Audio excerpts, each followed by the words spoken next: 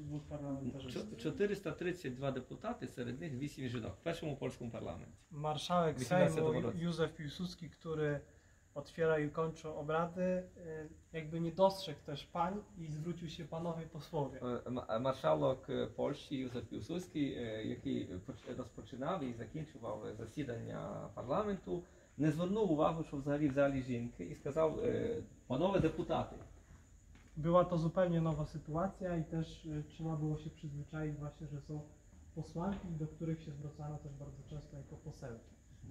От, е, і, а це була нова якість е, пані у парламенті, і треба було до них звертатися е, м, окремо. І, і, і як є посол, то, е, то, е, то є е, м, по-українську було п- послиця, No tak, mniej więcej.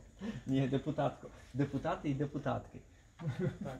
Ostatnie posiedzenie w tym miejscu odbyło się 2 września 1900